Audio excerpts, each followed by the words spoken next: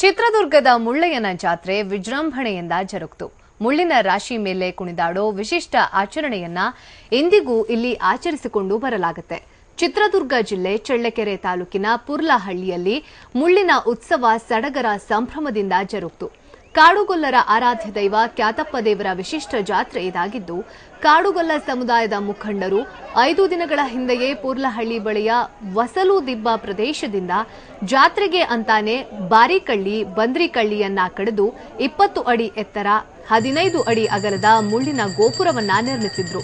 ಇನ್ನು ಕಾರ್ಯಕ್ರಮಕ್ಕೆ ರಾಜ್ಯದ ವಿವಿಧ ಜಿಲ್ಲೆಗಳಿಂದ ಸಾವಿರಾರು ಭಕ್ತರು ಆಗಮಿಸಿದ್ರು.